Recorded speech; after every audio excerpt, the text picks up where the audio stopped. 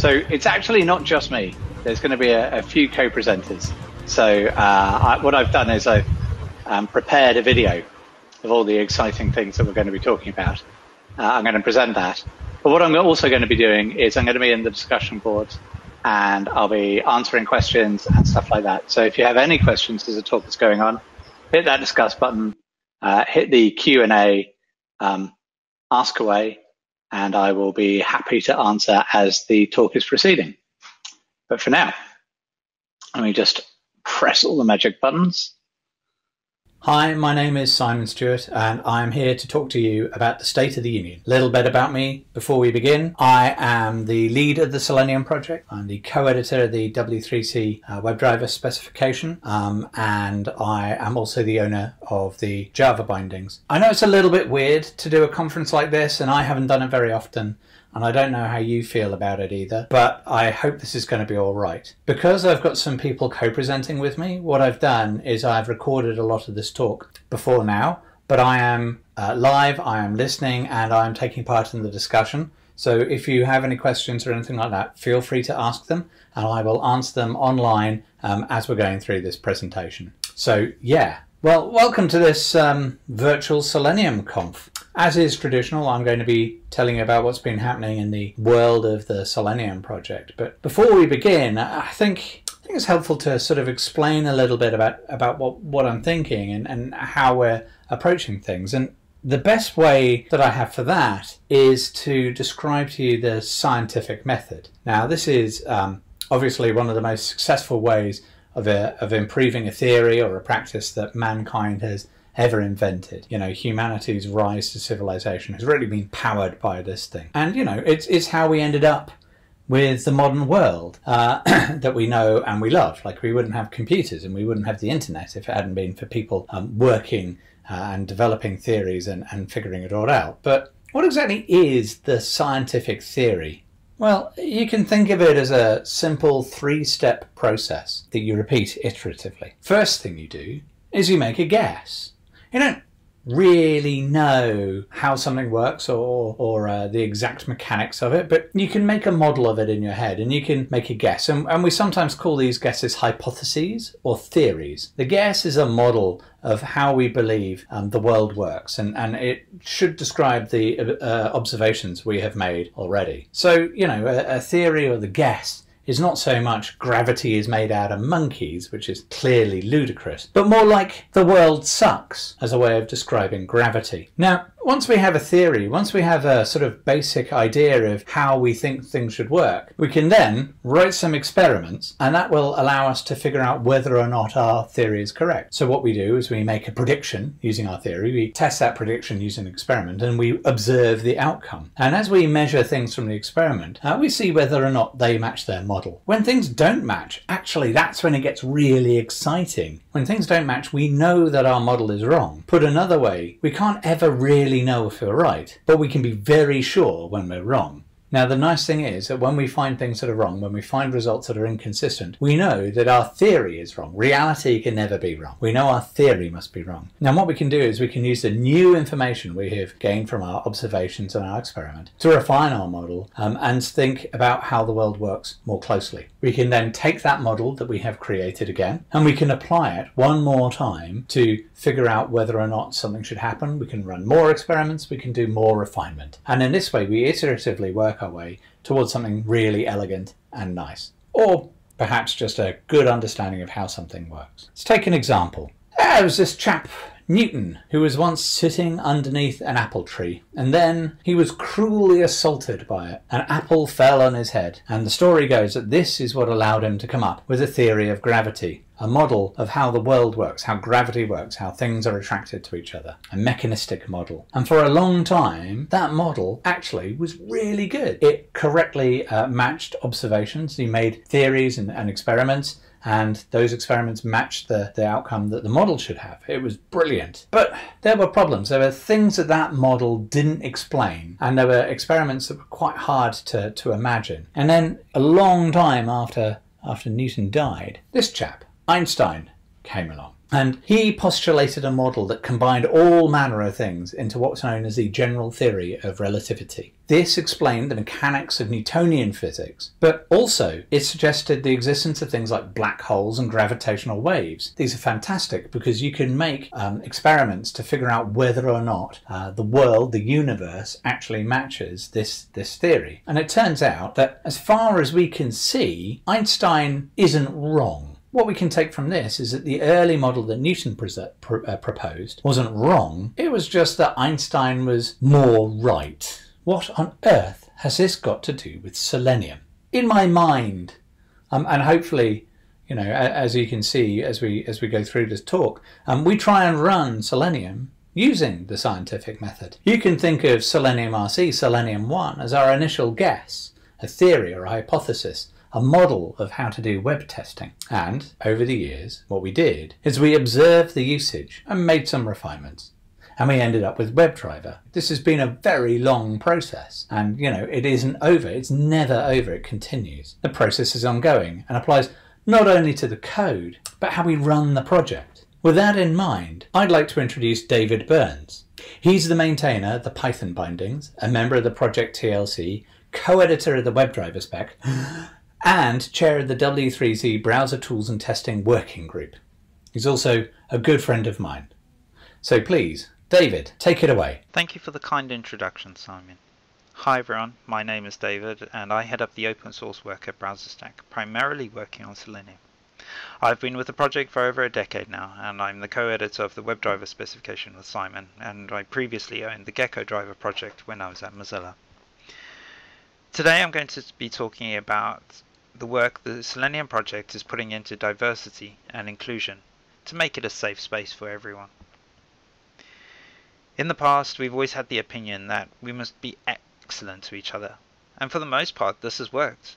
We have always been fortunate that we've never had any incidents, but when we start to apply some scientific methods, looking deeper into everything, it showed that we really needed to improve. We knew that we need to look at how we approach problems and what methods people could communicate with us if there was an issue. And when we started to look at this, we realized we we had survivorship bias. Survivorship bias is the idea that we look at the people who survived our process who and who could tell us what problems we had. Survivorship bias was used in World War II when people used to look at damage on planes that used to return. They would mark it all out and say, this is where we need to put more armor. Unfortunately, uh, this is not where the armor really was needed. And a statistician, a chap called Wald, uh, described that we should be fixing and putting more armor where there are no holes. Because these are the areas where we can never look at the planes that aren't returning. And those are the areas that have catastrophic failures. With this in mind, uh, we have teamed up with Sage Sharp uh, from Otter Technologies to help us make sure that we have inclusive policies within the project. These policies will extend to anything that uses the Selenium brand. These include the conference that you're at today, all the way down to local meetups anything that's using the brand and kind of could be seen as a Selenium event will be using these policies. We want to make sure that we have safe spaces for everyone so that we can lead to a place where everyone is inclusive, everyone is different, and everyone is safe. We know we're not going to be perfect, as nothing ever is, but by making sure that we put processes in place, we can always be improving them, tweaking them, making sure that we continue to maintain diversity and inclusion where possible.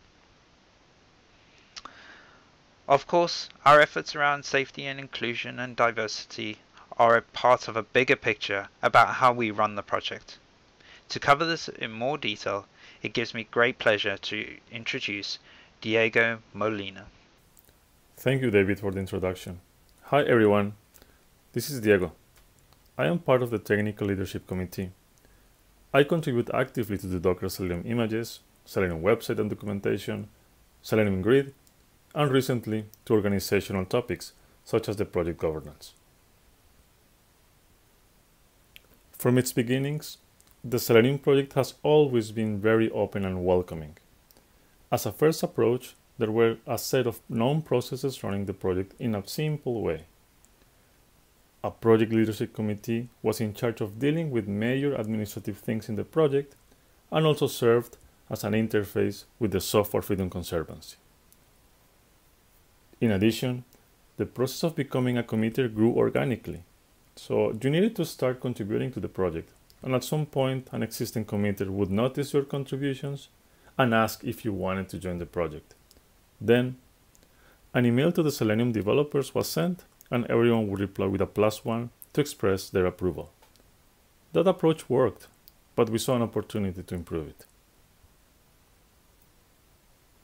All these processes were, let's say, implicit, undocumented knowledge. We didn't have anything written or structured in a way that anyone could understand the process from outside the project. As the project kept growing and expanding, more people joined, but also some people left. And parts of that implicit, undocumented knowledge left with them. The work being done for the upcoming Selenium 4 release has been an opportunity to improve and refine the project not only technically, but also in an organizational way. Therefore, we are updating the project governance. We have been working on writing down how things should be run to keep this knowledge within the Selenium project and make it transparent for anyone who wants to join the project. We are doing all this because there are lots of possibilities in the future of the project. However, to get there, we need to have clear roles and responsibilities, and a project that is still open and welcoming to everyone. To show you how we're doing this, let me share the structure of the project, its roles and responsibilities. Spoiler alert, you're also part of it. Let's start with the triage team. Over time, some community members have been helping the project to answer questions and identifying bugs. They are now part of the triage team, offering all their expertise and knowledge to all our users. Their role is to help triage issues and potentially submit pull requests with fixes or at least a failing test to help the committers recreate the issue. You will see them often replying to GitHub issues or helping the community in our IRC Slack channels. Another important role in the project is the committers, and there is a defined team for them across all the Selenium projects. These are folks who have shown that they are committed to the continued development of the project through ongoing engagement with the community. They are the ones who can manage changes and make them into the code base and help any newcomer to land their code contributions to the project by reviewing pull requests and also triaging issues. We also have two committees in charge of governing and running major things in the project, the PLC and TLC. Let me explain what they do. The overall continuity and future of the project is overseen by the Project Leadership Committee, PLC, which acts as a bridge between Selenium and the Software Freedom Conservancy. Since there are many different facets to the Selenium project, the PLC wants to reflect more than just people who code, but rather the community as a whole. On the other hand, technical decisions and roadmap of the Selenium project are governed by a Technical Leadership Committee, TLC, which is responsible for high-level technical guidance of the project. These two committees work actively to keep the Selenium project balanced and focused on the needs of the community. And the most important part of the structure is all of you, the community. Anyone can be part of the project. There are no special requirements. If you have done things like giving a talk about Selenium, raised awareness of the project and its benefits, maybe reported a bug as a GitHub issue or a proposed new feature. If you have helped someone else to overcome a challenge while using Selenium, or maybe you have organized a Selenium meetup, or collaborated in a Selenium conference, maybe you just have said thank you to the members of the project. You are already contributing to Selenium. Thank you. We have already some great achievements, like some new project members and the establishment of a public project meeting every two weeks, where we discuss the ongoing project developments. But this is just the beginning, and we know there are many more good things to come, but we need your help and feedback to get there. And talking about feedback and help, let me introduce Manoj to you. He will share more details on how you can contribute to the project. Thank you for the introduction, Diego. Hey folks, I hope you're all doing well and safe at home. I'm up next going to talk about the most commonly asked question to an open source contributor. That is, how can I contribute? I'm going to share a few areas in Selenium project where you could come and contribute, which also may be relevant to the other projects as well we all know that Simon is all getting us in the physics world very swiftly. Before we begin, I would like to share a quote by Sir C.V. Raman, the first Asian to have received a Nobel Prize in Physics. He says, I am the master of my failure. If I never fail, how will I ever learn? Which greatly fits well within our theory on when things don't match, we know that our model is wrong. And we should always look at redefining our models and experiments and we reinvent ourselves for the betterment of life.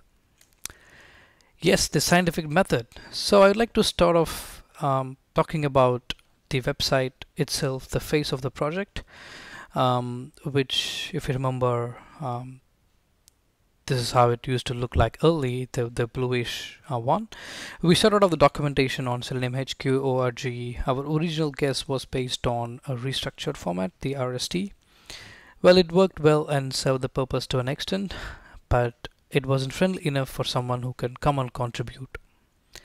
And it coupled with other tech complexities as well.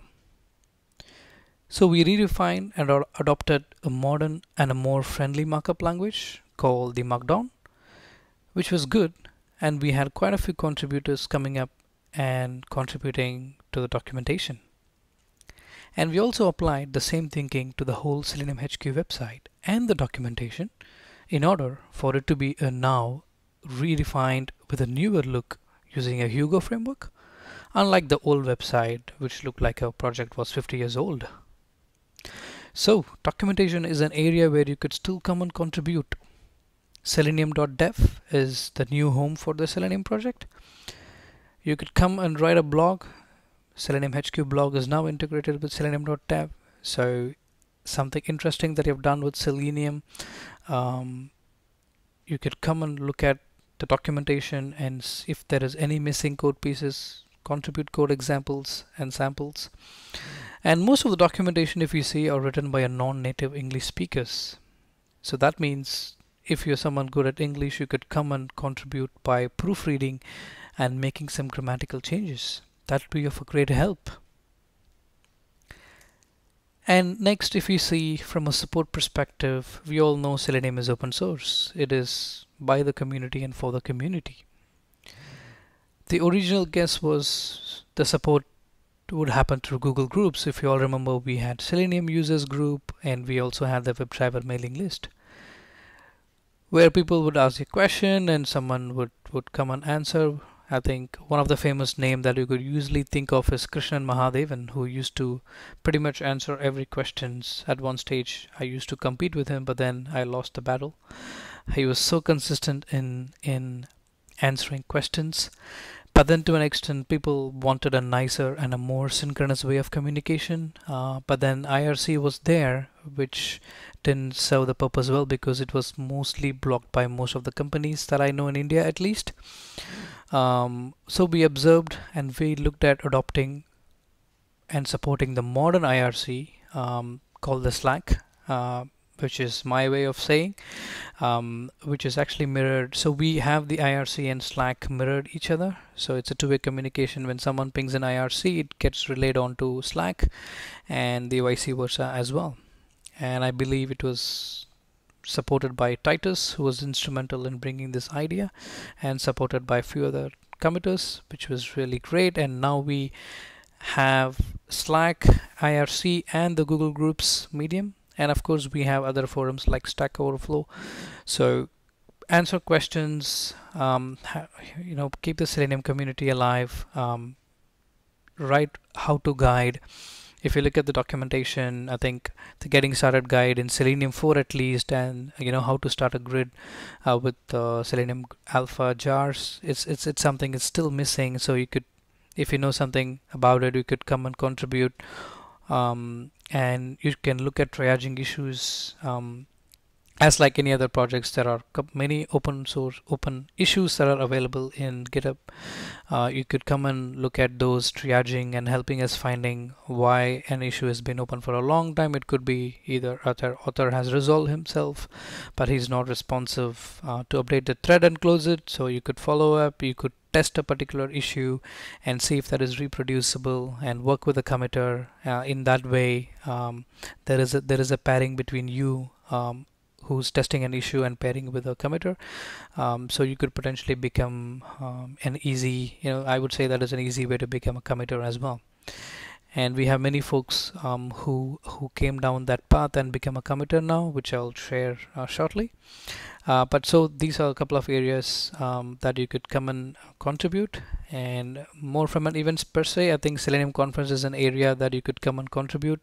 Uh, and every year we get tons and tons of proposal. Um, so if if you're someone who like to ask questions about ideas and get clarified and you could come and join the uh, program committee uh, Selenium conference happens every year, alternate years in India and the rest of the world um, uh, every year. Uh, I think the next one is in Chicago um, fall, uh, so we could come and contributing uh, to that. And of course, we if if you are in in the area where the next Selenium conference is, like I said, the next one is in Chicago. So if you're based in Chicago, if if you are someone who's local, you could come and help. And I know folks like you know Zacharias and Lydia Tripp um, who were locals and who helped us greatly in in organizing our lost conference. So um, and and likewise in India we have Anand, Naresh, um, Sai Krishna, Srinivasan, Pooja, and and a lot of other um, volunteers helping us run this show. Um, so this is again one of the areas that you could contribute. And so these are some of the non-tech um, things of area where you could contribute to selenium project. And next is code hack code. Who doesn't love code? Everyone can code. Well um, three things coming to my mind. You could write tests um, enhance our tests um, alpha. You can do some alpha and beta tests for selenium 4 um, you could do some um, help on the JavaScript bindings um, that needs help. And right now we don't have actively someone maintaining JavaScript bindings. So if you're someone who's good at JavaScript you could come and help us there. Um, and I've made this code um, you know contributing code to a last thing purposefully because um, Selenium project is is a space where we value we value contribution at every level someone who contributes to documentation is on the same level as someone who contributes to code. So that is how we see as um, contributors. And we celebrate new committers that coming up that way. And as Diego mentioned earlier on, on you know, forming a governance uh, way uh, for the project and, and forming up the PLC and TLC way, which actually, you know, leading up to having a documentation team and a triage team as well. And in that way, we have found some new uh, committers, um, unlike the last version of Selenium Conf that we had. Uh, this time I'm very happy and glad to introduce uh, new committers to the project. Um, starting off with Sri Sriharsha, he's been contributing heavily on the documentation. He's also now contributing to JavaScript bindings and, and earned a commit bit for Selenium as well. And Rajendra uh, from BrowserStack um, been contributing heavily on the grid stuff. Pooja again from BrowserStack has been contributing um, well on the observability and tracing aspect of Selenium Grid. Some nice work there. And Andrew has been there for the long time with the project, um, helping on the event space conference, Selenium conference. And Chris, um, he's been very active in supporting any questions asked in Slack. I think he's been called as the Salmon mode. If you're in a Slack and if you're wondering who is Salmon mode, that's Chris. He's here um, and welcome to the team folks. We are very happy and glad to have you. And uh, this is an inspiration um, for most of you who's looking at it. So contributing to code is not the only way to become a committer but you can start small and then find your way up there. And these folks are you know example that we have in front. Um, that said step forward contribute to the selenium project and make it better. Over to you simon. Thank you manoj and uh, David and Diego. Um, and I'd also like to add my congratulations to Shri, Andrew, Chris, Rajendra, and Pooja. It's fantastic seeing so many new faces join the project, and also seeing some old timers who have been with us for a long time be recognised um, for the valuable contributions they make. It's you know the project wouldn't be anything without people like these. So thank you very much. So yes.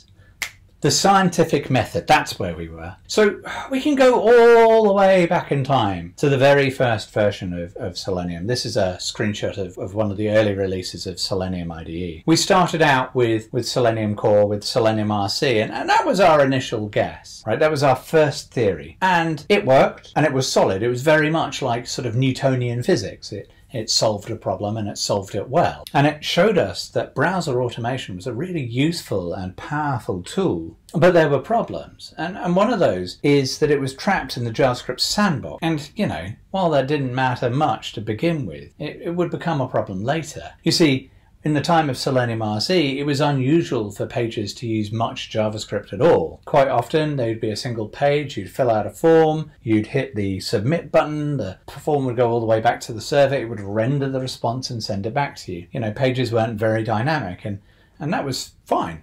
Uh, it would allow you to, to type things in with, with JavaScript and, and you were done, basically. But then we had Web 2.0. And uh, for me, uh, the first time where I had to really throw uh, WebDriver, which was a project that I'd started at this problem, was when I was contacted by um, a team at Google. Now, the first team that really put WebDriver through its paces um, was the Google Photos team, but the second team was Google Wave, and uh, I worked quite closely with them, um, and that forced us to um, push a lot of um, functionality into Selenium and into WebDriver. Right, that was a very rich web app. I, I know that it wasn't terribly successful, and I know nowadays it's a sort of footnote in history, but at the time it was cutting edge. It pushed browsers absolutely to the limit. And one of the things it showed us is that the model of binding tightly to the browser was a good idea and it encouraged us to emulate user input ever more closely. So we were trying desperately to be as close as we could to a sort of high fidelity user experience. The other thing that we um, had observed with Selenium RC is that the initial API was considered by some to be very simple because it was incredibly flat, but by others to be confusing and difficult to use because it was so large and parameters, um, it wasn't always clear what you should be passing in. So the other thing that we did is with WebDriver, we took a look at, how people use things and we came up with what we thought was a simpler API. Now don't forget, this was right at the beginning of the sort of Web 2.0 era. And so, uh, you know, this seemed like a, a good fit. We had a bunch of things that, that seemed to make a lot of sense. And even to this day, this API has stood the test of time. It's still pretty easy to use. It still allows us to do many of the things that we want to do. And this is our refined guess browser automation should look, the WebDriver APIs that we ship as part of Selenium. But time doesn't stand still and the world continues to move on. The original model of WebDriver was one of request response. You know, you would um, perform an action, you would send it over to the uh, to the browser to execute in its context, and it would click or it would find an element and, and then the response would come back to you. But modern applications are actually far more active now.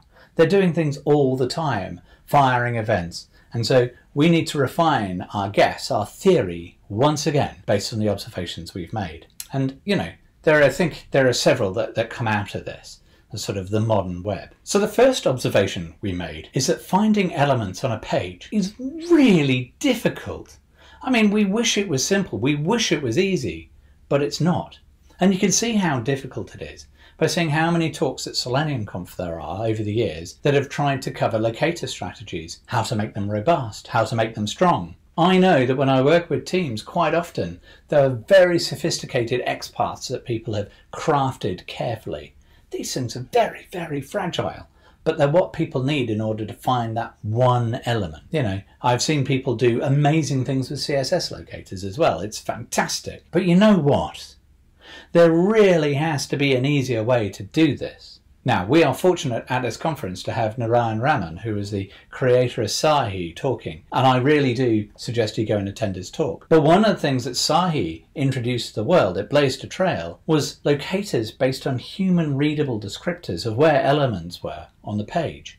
You don't say, this element is located so far down the DOM as a child of this. And no, no, no. What you do is you say, oh, you want the image that happens to be above this particular element or you want to say, I'll have something that's to the left or to the right of it. And so we've added something similar to Selenium 4. We call them relative locators. Back in the day, we called them friendly locators. Um, because we thought they were nice and, and, and easy to use. But I think actually relative describes what they do more closely. And although the idea originated in Sahi, you can find this in other browser automation frameworks as well, notably Gauge from ThoughtWorks. That is one of the ones that has it, and Taiko as well, I believe. So yes, we have added these relative locators, and they're a great way of finding elements. Another observation we made, and a thing that we heard very clearly, is that people want to use their web tests to be alerted to events happening on the page. Those events that might be happening um, might be something as simple as JavaScript errors. People might want to go, I want to fail the test if there are any JavaScript errors that are thrown on the page. We've moved from a world where we uh, have request response to one where we get events, right? If you call um, the Java uh, JavaScript console APIs, for example, it'd be nice to know what was being called there. The most popular of the other events that people want to listen out for, other than JavaScript errors, are changes in the DOM. You want to know when it's safe to continue your test, and you want to know when something is finished happening, um, and you want to be notified when things change. Now, we could just poll for these changes, and uh, we did that with explicit awaits. You can do that right now. You know, it'd be nice if you could be notified if something changed, right? Another observation we made is that people want information about network traffic. The most infamous issue in Selenium history was to do with returning status codes of a page. I was never really sure what that meant because a page is composed of so many different elements. Did they want me to add up all the status codes and divide by the number of requests to give you some sort of average status code? Or did they want the index.html status code? Or, you know, what, what did people want? I never understood it but it is something that people want to do. Another thing that's happened, particularly as um, people are moving toward a world of microservices and, and more distributed applications, is people want to be able to stub out network traffic. They want to allow them uh, allow themselves to test an application in isolation from potentially unstable backends. And that's a really useful thing. Previously, we've suggested people do this using proxies, and those are easy to integrate with Selenium. But you know, people want more. And finally, another request we've heard a lot about has been support for authenticating the browser with a web page. Again, these are normally, uh, the solution we normally suggest to people is to use a proxy. The BrowserMob Proxy uh, is one of them. And, and Jim Evans has written a series of blog posts about how to integrate a proxy with your Selenium tests. But, you know, people kind of like having everything be supplied in the same package for them to use at the same time. Authentication on a web page is typically done using basic or digest authentication. It's where you go to the page and you get a little modal dialog that pops up and when a user visits the page, um, they have to type in the username and password. Typically, that's that's what they need to do. Um, now, you know, if you didn't want to use a proxy, one way that you used to be able to get around this was by crafting URLs carefully. You could put a, an authentication section into a URL. But more and more browsers these days don't make that an option. And so we need to come up with a mechanism that allows you to support all of these features in your tests using WebDriver. Well, I've some good news for you because in Selenium 4, all of these things are available. Let's have a quick look. This is a, a demo that we have. We've been working to make the APIs as intuitive as possible. So here we go. You can see here that we're testing relative locators. We go to um, The Internet by Dave Haeffner. We want to find an element, and then we want to find below that an input element, and below this anchor element that we selected. So there you go. What we'll do, we'll highlight that element when we run the test, and we'll just assert that it's selected. The next thing we're going to do is listen out for some console events. So again, we go to the internet, and there's this complicated looking piece of code here, but, but don't worry about it too much. All we're doing is we're listening out for a console event. And when we see hello world, we set a latch. Um, and that means that we can continue. We then execute some JavaScript that calls console uh, log and, and says hello world. And we check that within five seconds, that latch has been triggered. So that piece of code has been passed. The next thing we're going to do is um, we're going to stub out some network traffic. So here's a request. Anything that uh, looks for a logo and ends with SVG, we are going to return a picture of a kitten. Yes, you heard me right. A picture of a kitten. So what we're going to do, we're going to um, go to DuckDuckGo and we will find um, the logo and we will highlight the element once more. And now we're going to show off um, authentication. So we're going to authenticate using admin and admin as our, as our username and password. And I'm going to pause here just so you can see that we're going to the, the basic digest page and, and these are the username and password that we should type. We're going to find the content and we're going to make sure it contains a string congratulations. So let's run this.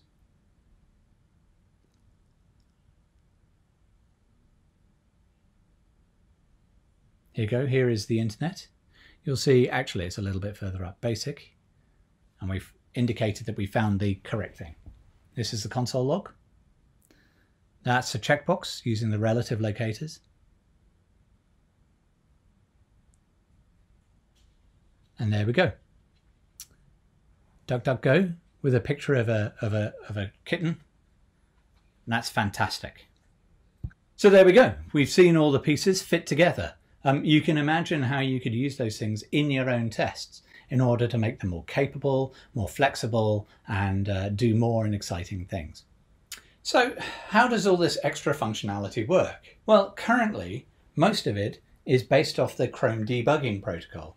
This is the protocol that is spoken by browsers that are based on Chromium, um, that is largely Chrome and Microsoft Edge, that allows you to hook into various events that are happening within the browser. Um, but browser developers and others, including members of the Selenium team, are working on a W3C spec, extending WebDriver to allow it to also send events back to a waiting test. This means that in the future, browsers other than those based on Chromium can take advantage of these features.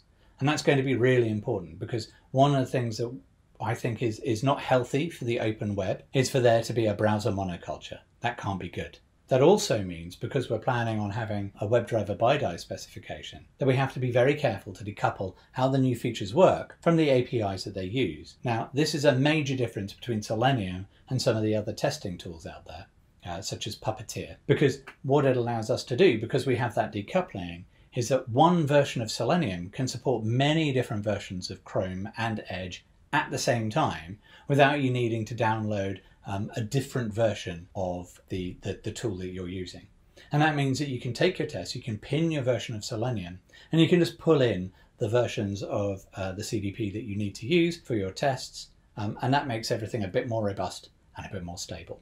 But you know, we haven't just been working on the user facing APIs that you know and hopefully love. Um, Selenium 4 doesn't stop there. Our original guess about how to distribute tests across a fleet of machines was the Selenium grid. Now there are one version that was uh, written that supported Selenium RC alone, and then the second version, which is actually what we're using now, which support, uh, supported both Selenium RC and the WebDriver protocol.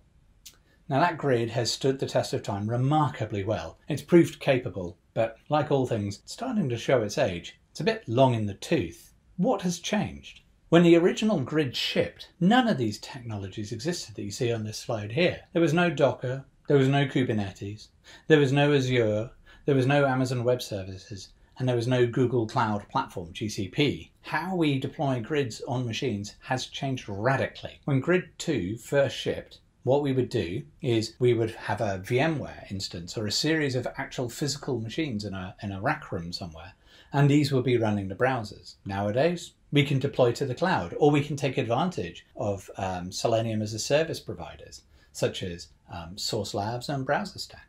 How we do this has changed so much. Basically, we want the Selenium grid to to cope with these new technologies. Now, there are projects such as Zalenium which have enabled uh, the original Selenium grid to continue to focus to work and to take advantage of these things. But you know, we could do better, but only if we changed some of the design. So in Selenium 4, we're refining grid based on the observations we've seen. If you went to the grid workshop yesterday, you'll have had a taste of it. We're designing it to be possible to scale using modern hardware and technologies and to support ever larger fleets of browsers because we know that's important to you. We also know that teams such as Aerokube allow you to have very large grids as well. We know this is something that people want.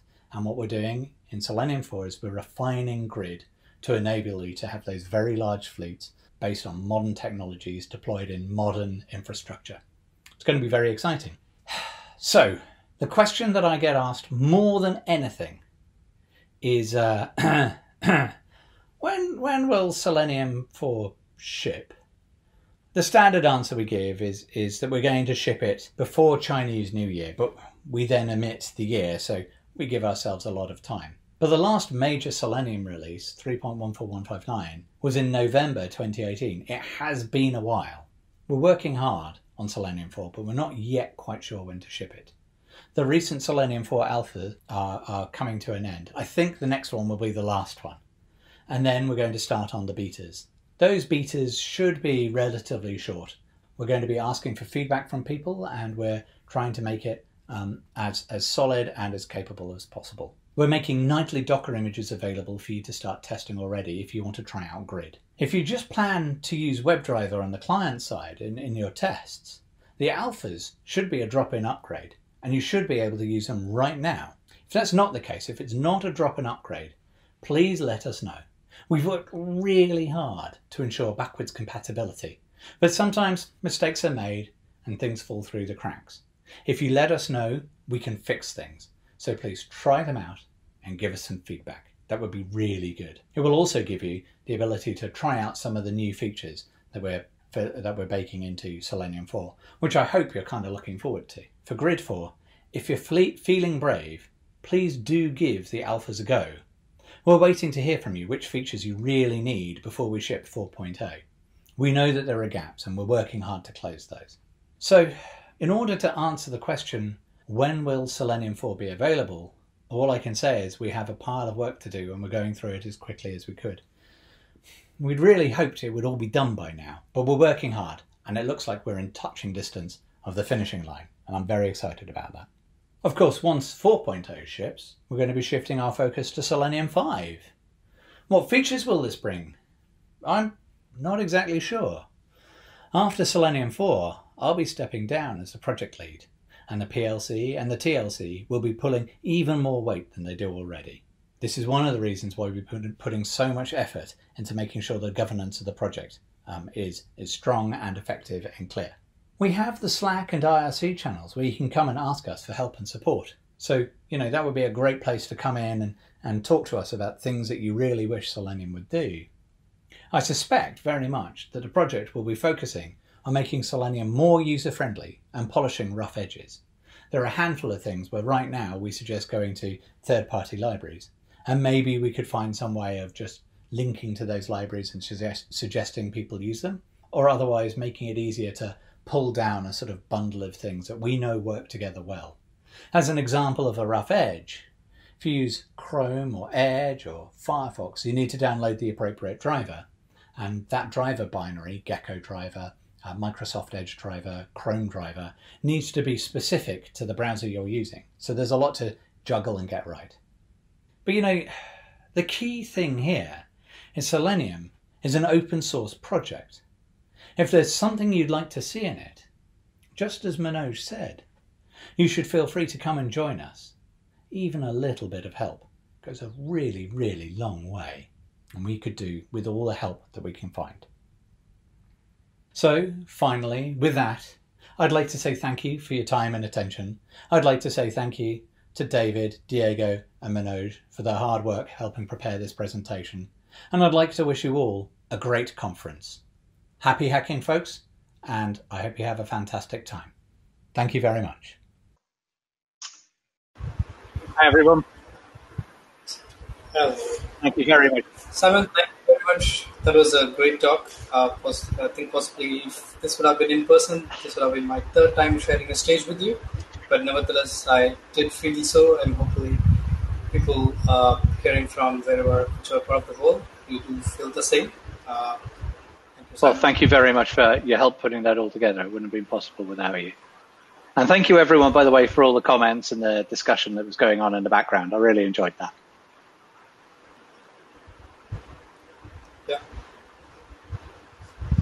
I think I think we may have actually answered all of the questions.